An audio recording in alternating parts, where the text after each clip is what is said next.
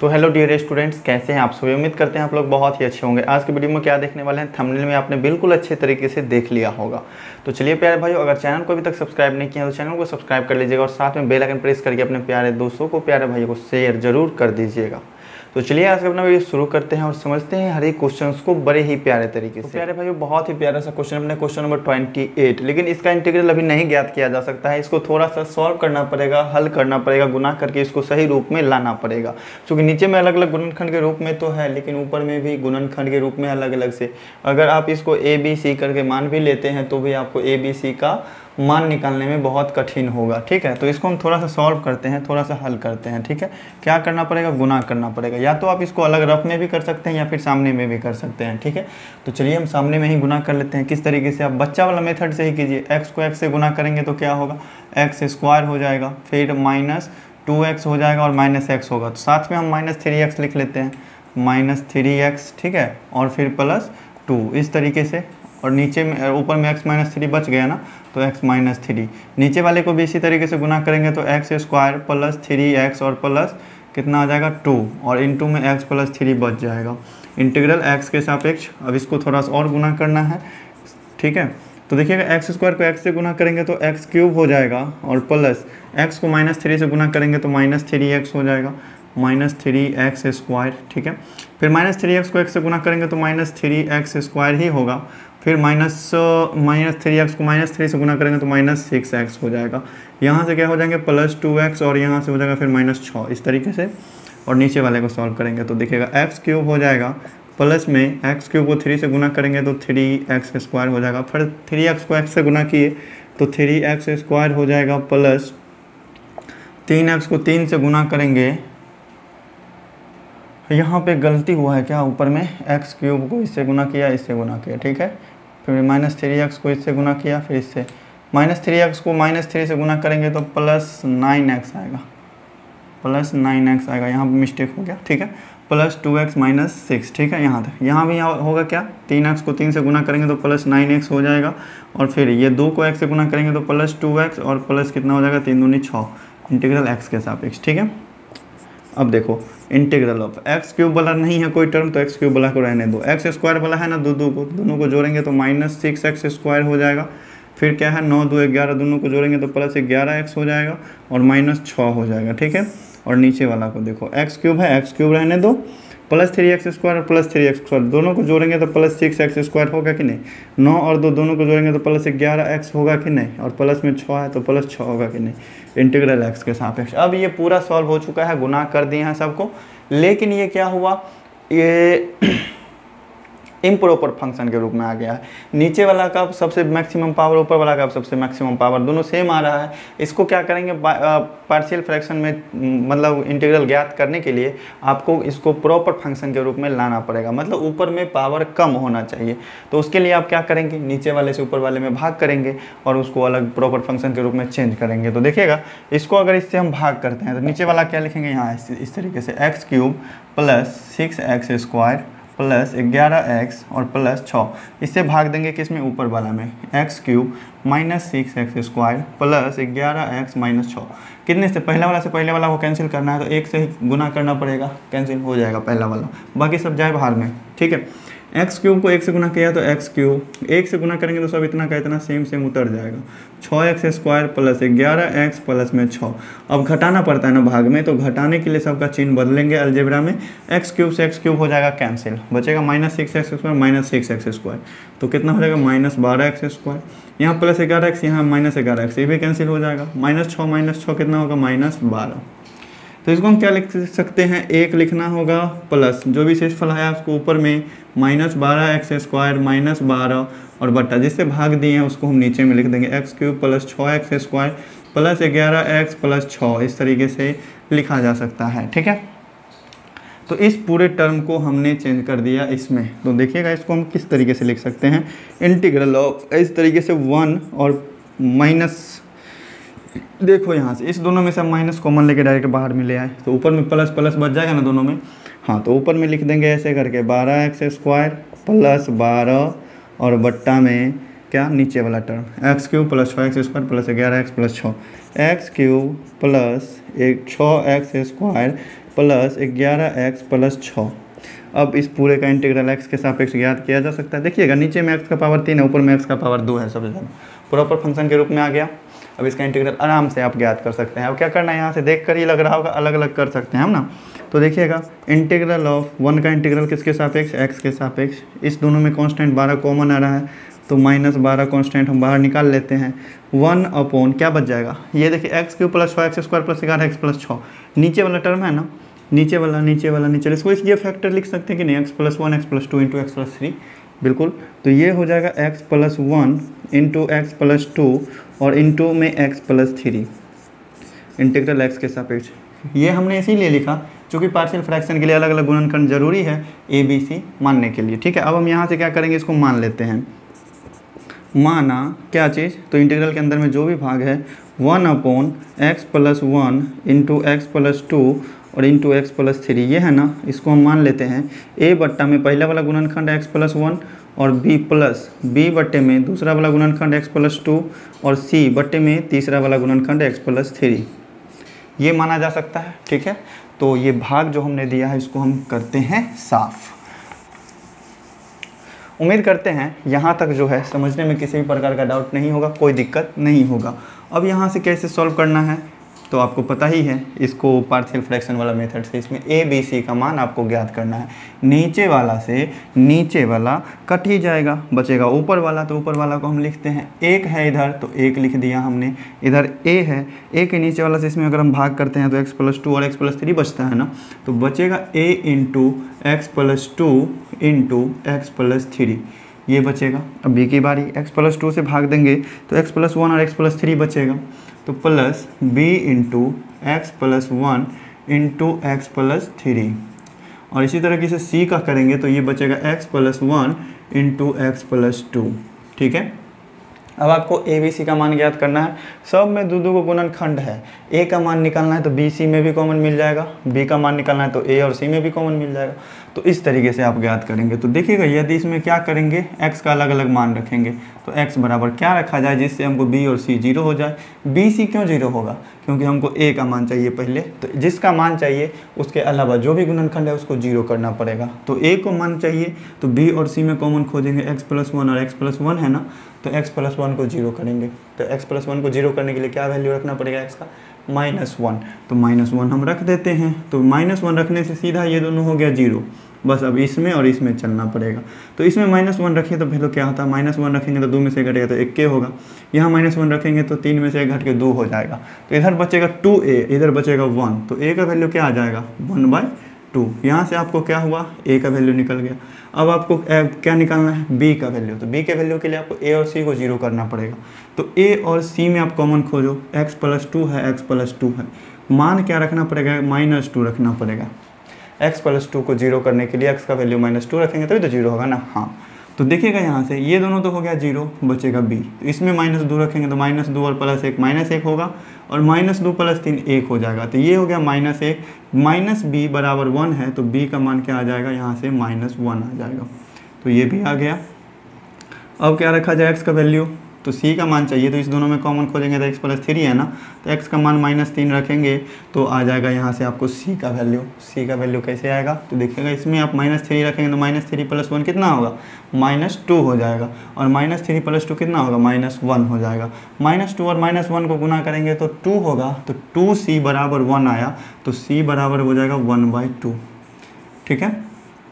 ए का वैल्यू आया one by two B का वैल्यू अच्छा यहीं पे यहीं पे यहीं पे यहीं पे यहीं पे हुआ मिस्टेक देखिएगा बारह एक्स स्क्वायर प्लस बारह है ना? तो यहाँ से बारह कॉमन लिए हैं तो एक्स स्क्वायर प्लस वन तो बच जाएगा ना? एक्स स्क्वायर प्लस वन बचेगा। ठीक है तो इधर से एक्स स्क्वायर प्लस वन पूरा को मानना पड़ेगा एक्स स्क्वायर प्लस वन को ठीक है? तो देखिएगा यहाँ से थोड़ा सा चेंज हुआ है एक्स स्क्वायर प्लस वन हो जाएगा ठीक है? एक्स स्क्वायर प्लस वन होगा। अब देखिए आपको ए और बी का वैल्यू अलग अलग निकलेगा। ए और बी का वैल्यू ये नहीं आएगा क्योंकि हम यहाँ पर मिस्टेक कर दिए थे एक्स स्क्वायर प्लस वन में। यहाँ बारह कॉमन लिए थे, बारह कॉन्स्टेंट बाहर निकाले थे तो एक्स स्क्वायर प्लस वन तो बचना था ना? हाँ तो देखो यहाँ से अब एक्स का वैल्यू माइनस वन रखें तो ये दोनों ज़ीरो हो गया, इसका माइनस वन रखेंगे। तो माइनस वन रखने पर इधर कितना आया था?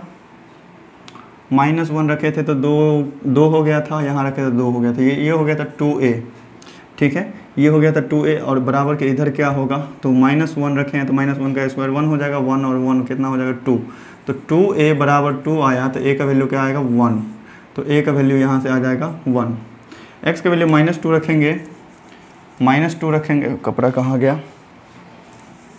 एक्स का वैल्यू माइनस टू रखेंगे तो ये और ये ज़ीरो हो जाएगा बी का मान बचेगा.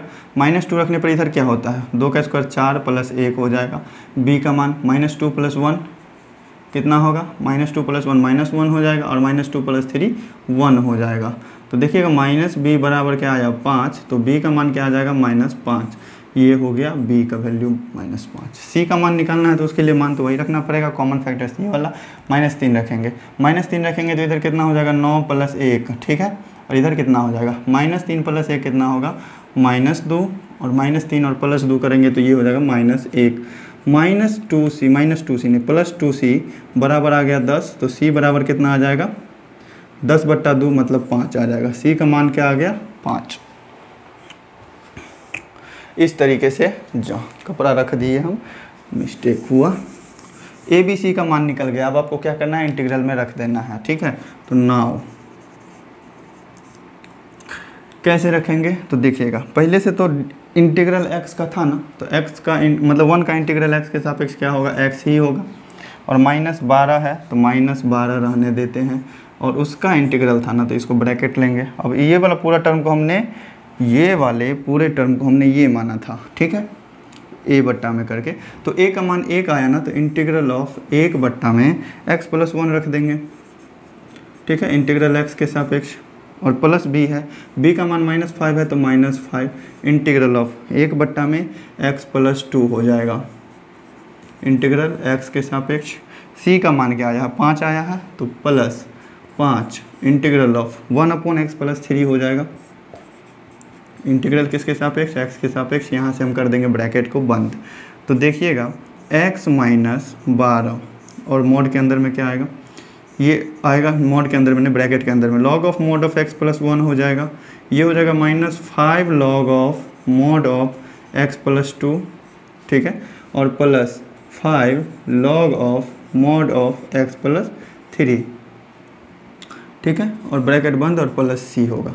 ये five log of x plus three है, ये five log of x plus two है। आंसर मैच करने के लिए आपको क्या करना पड़ेगा? ये जो माइनस है ना, इसको आप अंदर में गुना कर दो। तो ऊपर में, बाहर में सिर्फ़ प्लस रहने दो और माइनस से सभी अंदर में मल्टीप्लाई कर देंगे तो क्या हो जाएगा?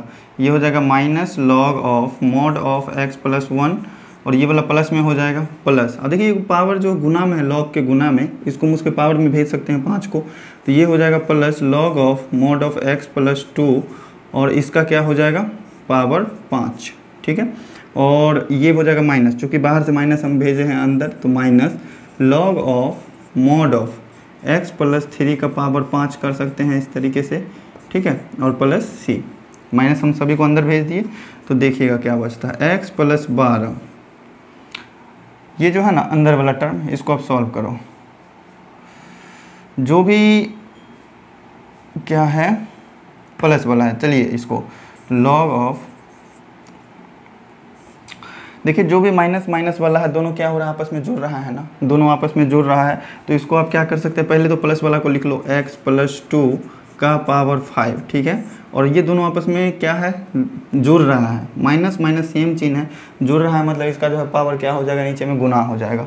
तो इसका जो है एक्स प्लस वन आ जाएगा भाग में एक्स प्लस वन, और ये भी घट रहा है तो एक्स प्लस थ्री का पावर भी फाइव आ जाएगा भाग में ठीक है? प्लस सी इसको थोड़ा और तोड़ के समझा सकते थे लेकिन बोर्ड पे जगह नहीं बचने के कारण इसको यहीं पे समझाना पड़ा यहीं पे इतना दूर में समझाना पड़ा। तो प्यार भाई उम्मीद करते हैं समझ गए होंगे आप लोग। ट्वेल्थ के स्टूडेंट हैं इतना तो समझ ही सकते हैं। तो चलिए नोट कर लीजिए स्क्रीन लेकर के फिर बढ़ते हैं अपने next question question number twenty पे। उसको भी बड़े ही प्यारे तरीके से क्वेश्चन नंबर नाइन भी है बहुत ही ट्वेंटी क्वेश्चन नंबर ट्वेंटी भी है बहुत ही प्यारा सा। Integral of d x upon x plus one का whole square into x square plus one एक तो गुणनखंड जो है इसका होल स्क्वायर है एक गुणनखंड है जिसमें सिर्फ़ पावर दो। है, ठीक है?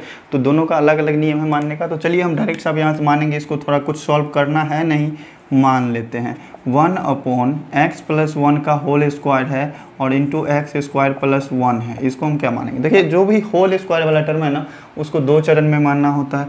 तो ए बट्टा एक बार पावर एक करके मानेंगे, ठीक है? और प्लस बी बट्टे एक बार पावर दो करके मानेंगे एक्स प्लस वन का होल स्क्वायर ठीक है? और जो भी सीधे एक्स के पावर में रहे ना होल स्क्वायर वाला में नहीं रहे तो उसको सी एक्स प्लस डी दो चर में पहले ही मान लेंगे एक ही बार में। ठीक है? बट्टा एक्स स्क्वायर प्लस वन अब इसको सॉल्व करेंगे, नीचे वाला से नीचे वाला कटेगा ही, बचेगा सिर्फ़ ऊपर वाला। तो देखते हैं यहाँ से क्या बचता है ऊपर वाले में। ए इससे हम भाग करेंगे इसमें तो ए को कट जाएगा, बचेगा एक्स प्लस वन और इन टू में एक्स स्क्वायर प्लस वन बचेगा। प्लस अब बी की बारी। एक्स प्लस वन के होल स्क्वायर से इसमें भाग देंगे तो बचेगा सिर्फ़ एक्स स्क्वायर प्लस वन। अब किसकी बारी? तो सी एक्स प्लस डी की बारी। इससे अगर इसमें भाग करते हैं तो सिर्फ़ एक्स प्लस वन का होल स्क्वायर बचेगा। समझ गए यहाँ तक? यहाँ तक समझने में तो कोई दिक्कत होना ही नहीं चाहिए। थोड़ा कैलकुलेशन है इसमें। अब हमको लगता है इसको गुना करना पड़ेगा सभी को। चलिए करते हैं गुना। A इंटू में एक्स को एक्स स्क्वायर से गुना करेंगे तो एक्स क्यूब एक्स को वन से गुना करेंगे तो एक्स प्लस वन को एक्स स्क्वायर से गुना करेंगे तो एक्स स्क्वायर और वन को वन से गुना करेंगे तो वन ही होगा। अब बी की बारी plus B into x square plus one इसको नहीं हल करेंगे ऐसे ही चूँकि गुना तो करना ही है ना। अब देखो, इसको क्या कर सकते हैं? सी एक्स प्लस डी और एक्स एक्स प्लस वन का होल स्क्वायर है, इसको तोड़ देंगे तो x square plus two x plus one इस तरीके से टूट जाएगा। ठीक है गुना करना है तो अब तो गुना कर सकते हैं ना, अब सब गुणनखंड को अलग अलग कर लिए। तो वन इज़ इक्वल टू गुना करते हैं। ए को एक्स क्यूब से गुना करेंगे तो a x cube plus a x plus a x square और प्लस ए बचेगा ना। अब बी की बारी तो बी को एक्स स्क्वायर से गुना करेंगे तो b x square plus b बचेगा। अब बड़ी सी एक्स का सी एक्स प्लस डी का दोनों से गुना करेंगे। सी एक्स को सी एक्स स्क्वायर से गुना करेंगे तो सी एक्स क्यूब हो जाएगा। प्लस सी एक्स को टू एक्स से गुना करेंगे तो टू सी एक्स स्क्वायर हो जाएगा। सी एक्स को वन से गुना करेंगे तो प्लस सी एक्स होगा। डी को एक्स स्क्वायर से गुना करेंगे तो प्लस डी एक्स स्क्वायर हो जाएगा। डी को टू एक्स से गुना करेंगे तो टू डी एक्स हो जाएगा। डी को वन से गुना करेंगे तो प्लस डी हो जाएगा। ये तो पूरा बोर्ड ही चल गया। पूरा लंबा चला गया। चलिए। कोई दिक्कत नहीं है। यहाँ पर तीन वो अलग अलग आ रहा है। ना वो एक्स क्यूब वाला आ रहा है एक्स स्क्वायर वाला आ रहा है एक्स वाला आ रहा है, वो कॉन्स्टेंट आ रहा है। सभी को अलग अलग करते हैं। गुणांकों का तुलना करेंगे, सीधी सी बात। तो ए इसमें से एक्स क्यूब वाले को अलग करते हैं। एक्स क्यूब का गुणांक कितना है? ए है। और एक्स क्यूब वाला को खोजते हैं। ये हो गया। एक्स क्यूब वाला यहाँ है प्लस सी है। एक्स क्यूब वाला कहाँ है? कहाँ है? कहाँ है? नहीं है। ए प्लस सी हो गया। अब खोजेंगे एक्स स्क्वायर वाला को। तो प्लस में एक्स स्क्वायर ले लेते हैं। एक्स स्क्वायर वाला का ये रहा, ए, यहाँ से प्लस बी, और एक्स स्क्वायर वाला यहाँ से प्लस टू सी, और एक्स स्क्वायर वाला खोजते हैं तो यहाँ रहा, प्लस डी।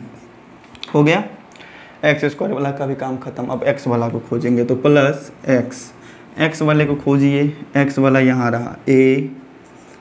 और एक्स वाला कहाँ है? A a a x x x यहाँ रहा। प्लस सी और एक्स वाला कहाँ रहा? यहाँ रहा। प्लस टू डी ठीक है? ये हो गया। अब constant a b c d अकेला होगा। सो वाला खोज लेते हैं। तो ए बी सी डी अकेला कहाँ है भाई? ए यहाँ रहा बी यहाँ रहा और डी यहाँ रहा। तो a plus b plus d बेचारा अकेला कांस्टेंट है। अब क्या करते हैं? तुलना करते हैं। एक्स क्यूब का एक्स स्क्वायर का और एक्स का और अचर पद का। क्या करने पर? तुलना करने पर। चार को समीकरण आएगा यहाँ से, ठीक है? एगो आएगा एक्स क्यूब का गुणांक, इधर है ए प्लस सी तो ए प्लस सी और इधर एक्स क्यूब का गुणांक कितना है? कुछ नहीं है तो ज़ीरो है। इसको मानो इक्वेशन फ़र्स्ट एक्स स्क्वायर का गुणांक क्या है? तो a plus b plus two c और प्लस डी और इधर एक्स स्क्वायर का गुणांक कितना है? कुछ नहीं है तो ज़ीरो है। एक्स का गुणांक देखो तो a plus c plus two d बराबर ज़ीरो इसको मान लो समीकरण तीन। ज़ीरो क्यों कर रहे हैं? इधर एक्स का गुणांक है, इधर नहीं है तो ज़ीरो ही होगा। अचर पद देखो। A plus b plus d बराबर। इधर तो अचर पद है a plus b plus d इधर अचर पद कितना है? एक है तो ये हो जाएगा एक। इसको मान लो समीकरण चार। अब चार चार समीकरण को हल करके आपको चार कांस्टेंट का मान ज्ञात करना है ए बी सी डी का मान। क्योंकि सभी में क्या है? ए बी सी डी ही है। तो इसको भी बहुत ही प्यारे तरीके से समझेंगे। यहाँ तक स्क्रीनशॉट लेकर के नोट करना चाहते हैं नोट कीजिए, फिर बढ़ते हैं आगे के प्रोसेस पे। तो प्यारे भाइयों, देखिए इस तरीके का जो भी समीकरण होगा, उसको कैसे सॉल्व करेंगे? तो देख सकते हैं, इसमें कुछ देखिएगा गौर से तो खुद ही समझ में आ जाएगा। देखिएगा यहाँ ए प्लस सी यहाँ भी है और ए प्लस सी यहाँ भी है। अगर इस दोनों समीकरण में चला जाए, अगर घटाया जाए तो a plus c a plus c cut जाएगा डी का मान यहाँ से निकल जाएगा। तो समीकरण एक माइनस तीन से चलते हैं। तो समीकरण एक माइनस तीन से चलते हैं। मतलब एक में से तीन को घटाते हैं।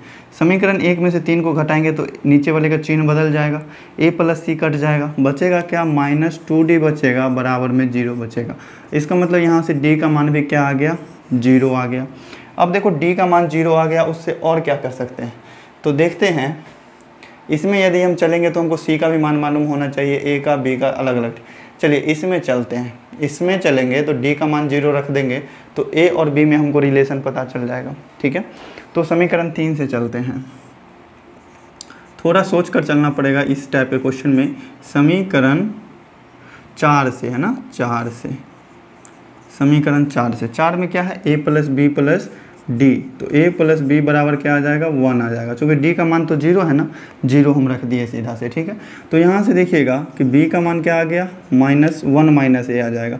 बी का मान क्या आ जाएगा? वन माइनस ए यहाँ से आ जाएगा। अब हम क्या कर सकते हैं? अब और क्या कर सकते हैं? थोड़ा गौर से और देखेंगे। तो हमको ए प्लस बी का मान मालूम है कि क्या है? वन है। ए प्लस बी के जगह पर यदि हम वन रख देते हैं और डी के जगह पर ज़ीरो रख देते हैं तो यहाँ से सी का मान निकल जाएगा। तो चलिए चलते हैं समीकरण दो से। समीकरण दो से।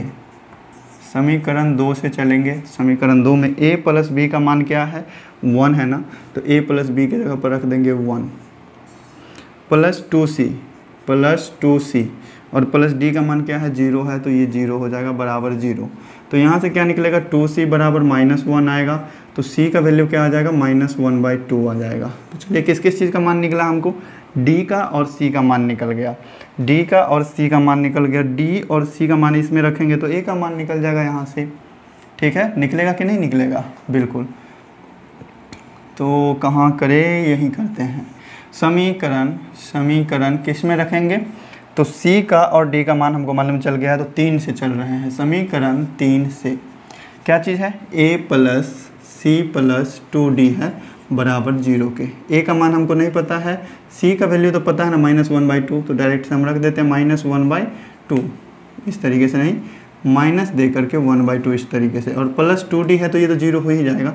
बराबर क्या हो जाएगा? ज़ीरो। मतलब ए का वैल्यू क्या आ गया यहाँ से? वन बाई टू ठीक है? ए का वैल्यू वन बाई टू आएगा। देखिए, कितने आसानी तरीके से एकदम धीरे धीरे कर करके समझ समझ के सबका वैल्यू निकाल लीजिए। डी का मान निकल गया सी का मान, और ए का भी वैल्यू निकल गया। बी का वैल्यू निकालना है। तो देखिए बी का वैल्यू यहाँ से निकल सकता है वन माइनस ए से। ठीक है?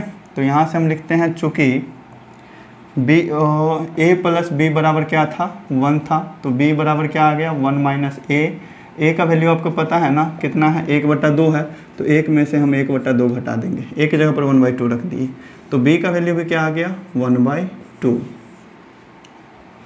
बात क्लियर ए का वैल्यू आ गया वन बाई टू बी का value one by two c का value minus one by two और डी का वैल्यू ज़ीरो अब क्या करना है? इंटीग्रल ज्ञात करना है। तो नीचे वाले को क्लीन करेंगे, फिर इसका इंटीग्रल साफ़ तौर पे ज्ञात करेंगे।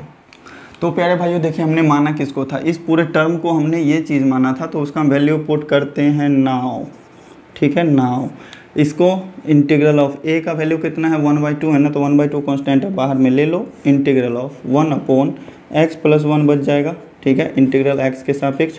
बी का वैल्यू हमने क्या निकाला है? वन बाई टू ही निकाले हैं तो plus one by two integral of one upon x plus one का होल स्क्वायर हो जाएगा इंटीग्रल एक्स के सापेक्ष.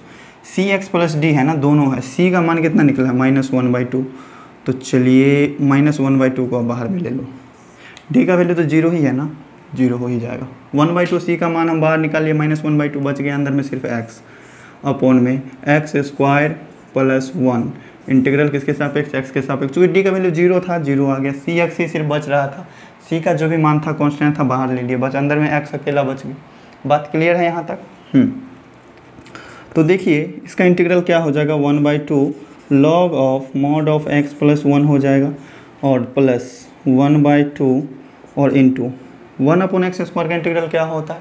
माइनस वन बाई एक्स ये हो जाएगा minus one divided by x मतलब सिर्फ़ पावर एक बच जाएगा एक्स प्लस वन ठीक है? और माइनस देखिएगा नीचे में एक्स स्क्वायर प्लस वन है, अगर एक्स स्क्वायर को आप जेड मानते हैं तो ऊपर में उसका डेरिवेटिव टू एक्स होना चाहिए। तो ऊपर में अगर टू से हम मल्टीप्लाई करेंगे तो भाग भी करना पड़ेगा।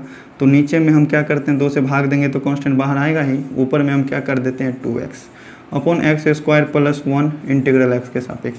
ये चीज़ समझे कि नहीं समझे? ऊपर में भी दो से गुना किए नीचे में भी दो से गुना किए वही कॉन्स्टेंट को नीचे वाला को हम बाहर निकाल दिए, ठीक है? अब देखो। One by two log of mod of x plus one हो गया। और इसको हम क्या लिख सकते हैं? गुना करेंगे तो minus one by two into x plus one इस तरीके से। और ये क्या हो गया? Minus one by four. इसका integral log of mod of x square plus one plus c constant यही रहा अपना प्यारा सा आंसर बुक में देखो भाई मिस प्रिंट है आंसर में। यहाँ पे थ्री बाई फोर दिया। हमने कई तरीके से क्वेश्चन को सॉल्व करने का कोशिश किया, लेकिन फिर भी आंसर नहीं आया। इसका मतलब क्वेश्चन में ही मिसप्रिंट है, ठीक है? तो क्वेश्चन में मिस प्रिंट नहीं है बुक में आंसर में मिस प्रिंट है। थ्री बाई फोर दे दिया, वहाँ पे वन बाई फोर होगा। बाकी सब कुछ साफ़ है। इस तरीके से आप क्वेश्चन को सॉल्व कर सकते हैं। अब बच गया अपने एक्सरसाइज 19.13 का लास्ट क्वेश्चन क्वेश्चन नंबर 30 आइए उसमें कुछ हिंट दिया हुआ है, उसको भी समझेंगे कि कैसे हिंट दे दिया, किस तरीके से उसको सॉल्व करना है, किस तरीके से वो हिंट को लाया तो प्यारे भाई अपना क्वेश्चन नंबर तीस भी है, बहुत ही प्यारा सा। देखिए integral of x square upon x square plus one into x square plus four है। इसमें कुछ हिंट दिया हुआ है। हिंट ये दिया हुआ है कि जेड जो है एक्स स्क्वायर को हम मानेंगे जेड तो यहाँ से हम क्या करते हैं, मान लेते हैं जेड बराबर क्या एक्स स्क्वायर इसका डेरिवेटिव नहीं निकालना है, कुछ ही पल के लिए हमने माना है इसको। तो देखिएगा यहाँ से अगर कुछ ही पल के लिए माने हैं तो क्या हो जाएगा, ये एक्स स्क्वायर की जगह पर जेड हो जाएगा अपोन क्या हो जाएगा जेड प्लस वन और इंटू में क्या हो जाएगा जेड प्लस फोर अब इसको हिंट में दिया हुआ ये पूरे टर्म को आपको कुछ मानने के लिए दिया हुआ ना लेकिन वो चीज़ आया कैसे है? वो चीज़ देखिए, इसको ब्रेक करेंगे अलग अलग तोड़ना है। तो जेड प्लस वन इस तरीके से हम लिख देंगे और जेड प्लस फोर इस तरीके से लिख देंगे, ठीक है? अब ऊपर में क्या आने वाला है? तो देखिएगा जेड प्लस वन को ज़ीरो करने के लिए जेड का क्या मान रखना चाहिए? माइनस वन रखना चाहिए तो माइनस वन को हम रख देंगे ऊपर में। अब यही वैल्यू माइनस वन को इसमें हम रखेंगे तो वैल्यू कितना आएगा? तीन आएगा तो ये हो जाएगा तीन। इसी तरीके से यहाँ भी करेंगे। जेड प्लस फोर को ज़ीरो करने के लिए जेड का वैल्यू क्या रखना चाहिए? तो जेड का वैल्यू माइनस फोर रखना पड़ेगा तो माइनस फोर रख देते हैं और डिवाइड में। इसमें वैल्यू रखेंगे माइनस फोर तो कितना आएगा? ये आ जाएगा माइनस थ्री इसी तरीके से यहाँ से माइनस से माइनस कैंसिल हो गया, बीच में प्लस का सिंबल दे देंगे। तो क्या आएगा अपना अभी गुणनखंड जो है ये?